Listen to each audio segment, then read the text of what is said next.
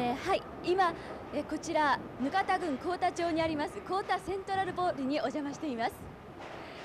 えボーリング場といえど今やマイコン時代。そこでスコアからアベレージの計算。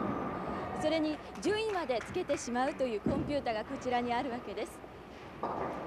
えこのシステム我が国でも初めてということなんですが社長の鈴木さんこちらにいらっしゃいますのでお話を伺います。よろしく。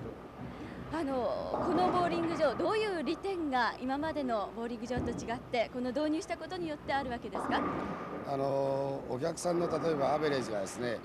1年間あのこちらでコンピューターで、えー記録をしておるとかそれから大会などをおやりになっていただく会社関係の皆さんにですねあのそその形のアベレージも全部あの手前どもでコンピューターで1年間管理をさせていただくっていうシステムです。あのスコアをこうわからない方でも利用できるわけですねそうですねあのおじいちゃんからあのお孫さんまではい楽しくあの遊んでいただけると思います。あのまたスコアを書く楽しみを持ってらっしゃる方もあると思うんですがそういう方たちのためにはどうしたらいいんでしょうか？あのスコアを書くやっぱり楽しみがあると思うんですね。あの手前どもの今度入れました機械はですね、あのスコアを書きたいお客様はですね、あの